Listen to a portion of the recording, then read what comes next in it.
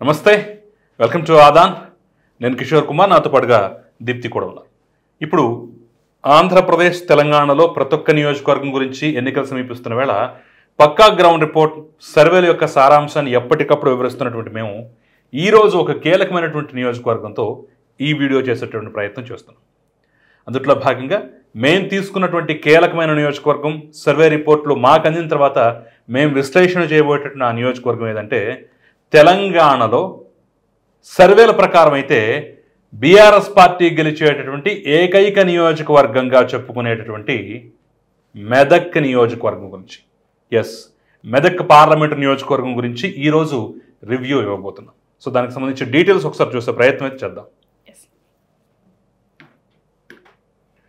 మెదక్ లోక్సభకు సంబంధించి మనం చూసినట్లయితే మెదక్ లోక్సభ కింద ఏడు అసెంబ్లీ స్థానాలు ఉంటాయి అందులో ఒకటి సిద్దిపేట్ రెండు మెదక్ మూడు నర్సాపూర్ నాలుగు సంగారెడ్డి ఐదు పటాన్చెరు ఆరు దుబ్బాక ఏడు గజ్వేల్.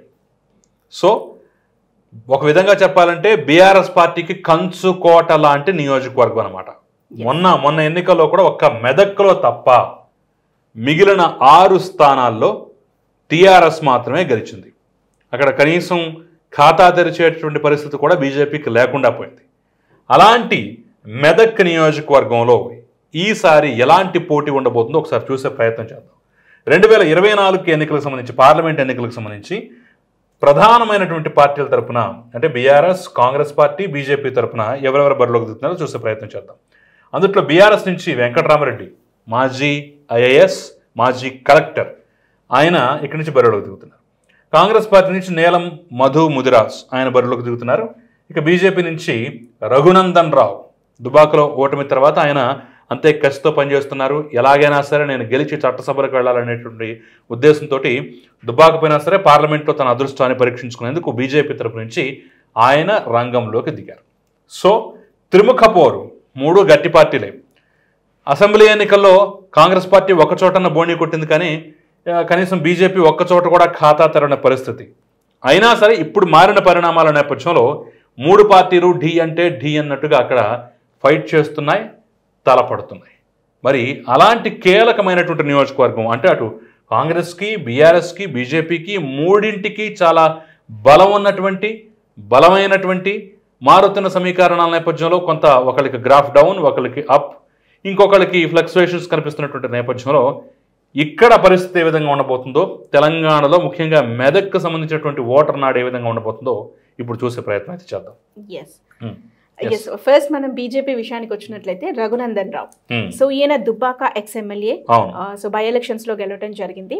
ఈయనని వకీల్ సాబ్ అని కూడా పిలుస్తూ ఉంటారు అక్కడి ప్రజలు సో ఈ వకీల్ సాబ్ గెలిచ గెలవనైతే గెలిచారు ఆ టైంలో బీజేపీ వేవ్ కూడా ఉండింది మనం గమనించాం. తెలంగాణలో బీజేపీ. ఎలా పుంజుకున్న సమయంలో అక్కడ బై ఎలక్షన్స్ అనేవి. వచ్చాయి ఆ టైంలో ఆయన గెలుపొందారు అయితే గెలిచినప్పటికీ కూడా దుబ్బాక అభివృద్ధి ఎంత మాత్రం నోచుకోలేదు.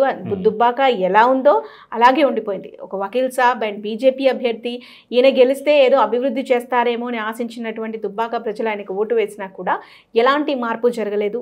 మీకు ఇంతకు ముందు కూడా చెప్పాను. నేను కూడా మన టీంతోని దుబ్బాకకి వెళ్ళిన సందర్భంలో ఎప్పుడెప్పుడు అక్కడి నుంచి బయటపడతామా అన్న. ఫీలింగే తప్ప అంత భయానకంగా అనిపిస్తూ. ఉంటుంది సో ఏమాత్రం డెవలప్ చెందని ప్రాంతంగా దుబ్బాక అని చెప్పవచ్చు ఈ. కారణంగా సో ఒక దుబ్బాకని అవకాశం డెవలప్మెంట్ యాంగిల్లో మాత్రమే ఇక్కడ రఘునందన్ రావును చూసే పరిస్థితి తప్ప ఇంకా మరొక అంటే పార్టీ Yes. బలం కానీ లేదంటే అక్కడ పార్టీకి ఉన్నటువంటి సంస్థాగతమైనటువంటి అంశాలు కానీ ఇవేవి అక్కడ పనిచేయవా?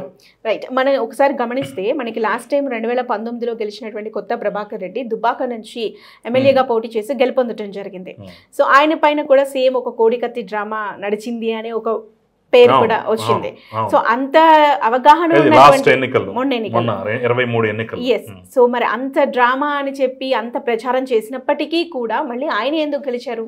అంటే ఈయన పైన ఎంత వ్యతిరేకత ఉంది అనేది మనకు అక్కడే అర్థమవుతుంది సో ఈ వ్యతిరేకత ప్లస్ ఇక్కడ సో ఈ ప్రాంతంలో ముఖ్యంగా ఈ మెదక్ పార్లమెంట్లో ఎక్కువగా బీఆర్ఎస్ఏ గెలిచిన పరిస్థితి.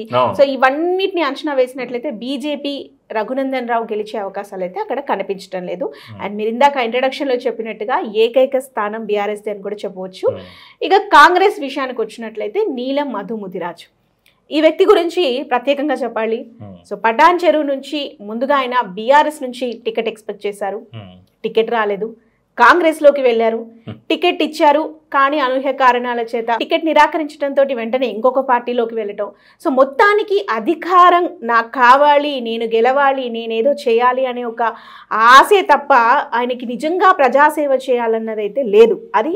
మనకి లాస్ట్ టైం మొన్న జరిగిన అసెంబ్లీ ఎలక్షన్స్లోనే చాలా క్లియర్గా తెలిసిపోతుంది ఇంకొక విషయం ఇక్కడ గమనిస్తే కేవలం ఒక సర్పంచ్. సర్పంచ్ అయిన ఈ వ్యక్తి ఇన్ని కోట్లు ఎలా సంపాదించారు? సో అండ్ ఎంతైనా పార్టీకి పెట్టడానికి రెడీగా ఉన్నాను. ఎలక్షన్స్లో ఎంత ఖర్చు అయినా పెట్టడానికి రెడీగా ఉన్నాను. సర్పంచ్ నుంచి ఏకంగా ఎమ్మెల్యే టికెట్ ఎంపీ టికెట్ వరకు ఎదిగినటువంటి పరిస్థితి. ఎస్ అది కూడా అనూహ్యమైనటువంటి పరిణామం. ఎస్ సో ఎలా వచ్చారు?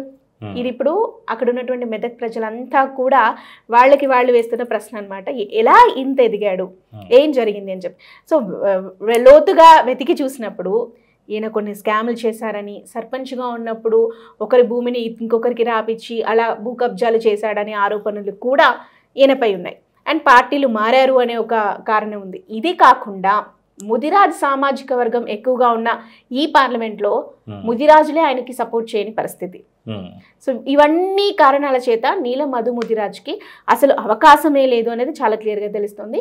అండ్ ఈ నియోజకవర్గంలో చూసినట్లయితే ముఖ్యంగా గజ్వెల్ కానీ అండ్ సిద్దిపేట్. ఈ రెండు చాలా స్పెషల్ బీఆర్ఎస్కి ఉమ్, సో పక్క సిద్దిపేటలో హరీష్ రావు ఇంకో పక్క గజ్వెల్లో మాజీ ముఖ్యమంత్రి K. Chandrashekar Rao. Um, so ఈ రెండు ప్రాంతాలు కానీ అలాగే నర్సాపూర్ ముఖ్యంగా పటాన్ చెరువు ఈ ప్రాంతంలో కనీసం ఆయనని ఆయన ప్రచారానికి వస్తుంటే కూడా ఎవరు ఆహ్వానించలేని పరిస్థితి.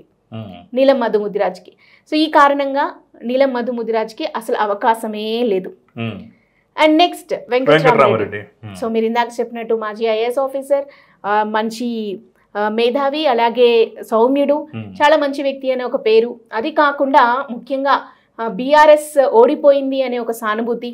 సో ఈ ప్రాంతాలన్నింటిలో కూడా బీఆర్ఎస్ గెలిచినప్పటికీ కూడా అధికారంలోకి రాకపోవటం. సో మరీ ముఖ్యంగా గజ్వెల్ నుంచి కేసీఆర్ ఉండటం. అటుపక్క సిద్దిపేట నుంచి హరీష్ రావు. ముఖ్యంగా హరీష్ రావు అంటే అన్ని ప్రాంతాల్లో కూడా ఖచ్చితంగా బీఆర్ఎస్ గెలవటంలో ముఖ్య పాత్ర వహించింది హరీష్ రావు. మెదక్ని కూడా అసలు మిస్ చేయొద్దు అనుకున్నారు బట్ పొరపాటు జరిగిపోయింది.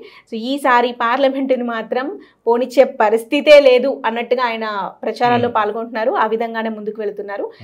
సో ఈ రకంగా ఈ సానుభూతి కూడా వెంకట్రామరెడ్డి గారికి కలిసి వచ్చే అంశం చెప్పాలి. సో ఓవరాల్గా తెలంగాణ పార్లమెంటులో గెలిచే ఏకైక స్థానం మెదక్ పార్లమెంట్ అండ్ వెంకట్రామరెడ్డి గారని చెప్పాలి. ఇది వాస్తవ పరిస్థితి అక్కడ బీఆర్ఎస్కి అయితే అవకాశాలు పుష్కలంగా కనిపిస్తున్నాయి. ఒక పక్క రఘునందన్ రావు మీద అంత ఆశ లేనటువంటి పరిస్థితి. ఇక నీలం మధుని అసలు ఆమోదించినటువంటి పరిస్థితి అయితే మెదక్ పార్లమెంట్లో కనిపిస్తోంది. సో వాళ్ళకు ఉన్నటువంటి ఏకైక ఆశాదీపంగా బీఆర్ఎస్ఏ కనిపిస్తోంది. పైగా ఆ యొక్క పార్లమెంటు స్థానంలో ఒక్కటి తప్ప మిగిలిన ఆరు బీఆర్ఎస్ఏ కైవసం చేసుకుని గట్టి పట్టుతోటి బలంగా ఉన్నటువంటి పరిస్థితుల నేపథ్యంలో ఈసారి పార్లమెంటును కూడా గట్టిగా కొడతాం అనేటటువంటి ధీమాతో అయితే వాళ్ళు అన్నారు అట్ ద సేమ్ టైం మొత్తం ఓవరాల్గా తెలంగాణలో చూసినట్లయితే బీఆర్ఎస్ గెలిచే ఏకైక పార్లమెంటు స్థానం అదే. అంతకుమించి ఇంకా ఆస్కారం లేదు అసలు స్కోపే లేదనేటువంటి పరిస్థితులు కూడా మనకి తెలంగాణలో కనిపిస్తున్న వేళ బలంగా ఉంది గెలిచేది మెదక్ పార్లమెంట్ అనేటటువంటి ఒక అంశం అయితే చాలా క్లియర్గా తెలుస్తోంది. చూద్దాం మరి ఏం జరుగుతుందో.